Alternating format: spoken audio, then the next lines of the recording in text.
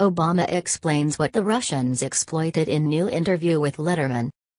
Former President Barack Obama weighed in on the potential consequences of Russian meddling in social media platforms during the 2016 election in a new interview with David Letterman.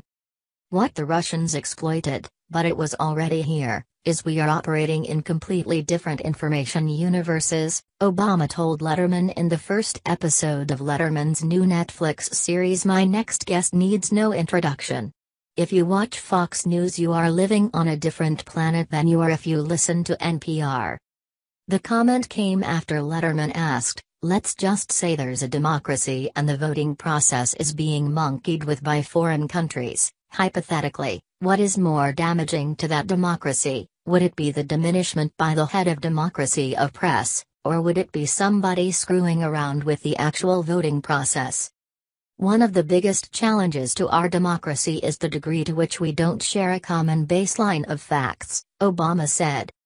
He went on to discuss the use of social media in his 2007 campaign, noting that at the time people didn't realize the power, and potential dangers, of platforms like Twitter and Facebook.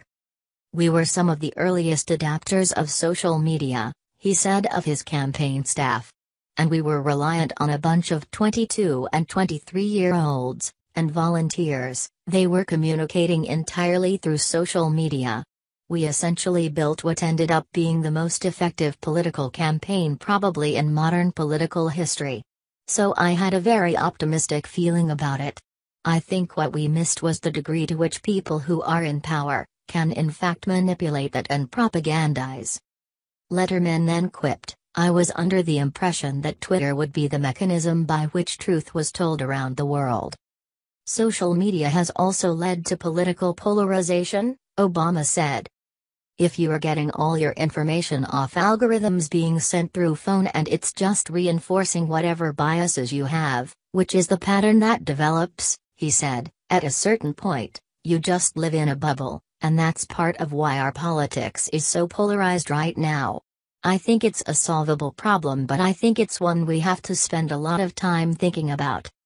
The interview, which was about an hour long, debuts on Netflix on Friday. Guests scheduled for the rest of Letterman's shows include George Clooney, Malala Yousafzai, Jay-Z, Tina Fey and Howard Stern.